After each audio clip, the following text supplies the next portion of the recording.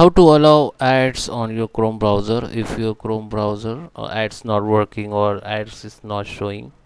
Then how you can unblock it? I will show in this video tutorial. So let's start with the video guys. Before we start i request you like this video hit the like button subscribe my channel and don't forget comments below. Okay.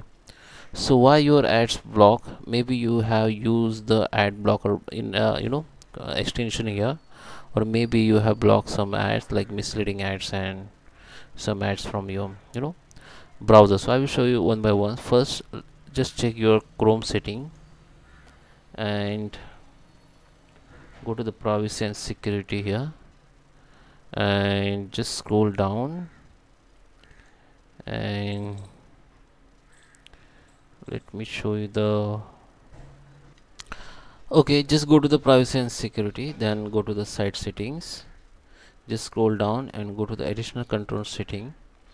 And uh, just go to the ads.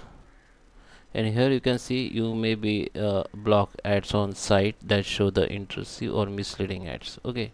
So this is for your misleading ads. If you want to allow all ads you can allow the all site show the ads to you. Okay. So this is first setting. You can allow the all ads. And the third setting i just you need to just allow if you want to allow all ads but in my case i want to block some misleading and instructive ads okay. The second method or option you can use that maybe your in your browser maybe the ad block uh, you know extension has been applied. So how you can find it?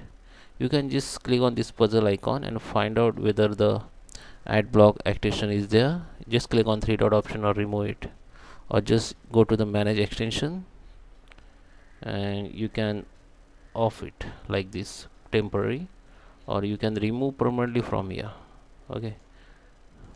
And another case go to the settings and go to the extension.